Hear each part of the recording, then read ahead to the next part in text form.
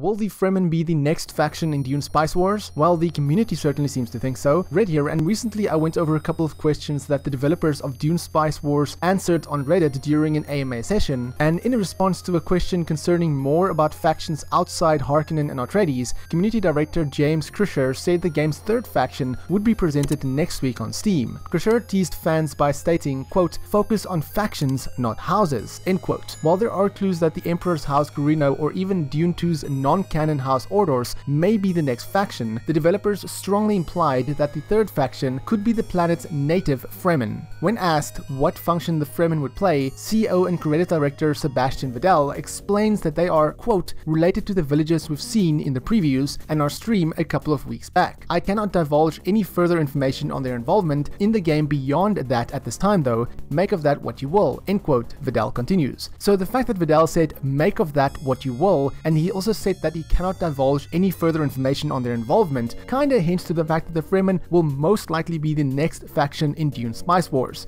Also, Krisher said focus on factions, not houses, so that also confirms that Dune Spice Wars will not have four houses, but four different essentially teams, two of them houses being the Harkonnen and the Atreides, and then maybe two factions, one of them being the Fremen. Regardless, next week we will know who the third faction or house will be in Dune Spice Wars, and I'll definitely keep you guys updated on that. But what do you think? Do you think the Fremen will be the third faction in Dune Spice Wars? Let me know in the comments below, and for more gaming content, check out the rest of my channel. If you enjoyed this video, then give me a thumbs up. If you dislike it, give me a thumbs down. But please tell me why so I can improve my videos. My name is Frank, I'm the Red Tie Guy, and frankly, thank you for watching. Catch you guys in the next video.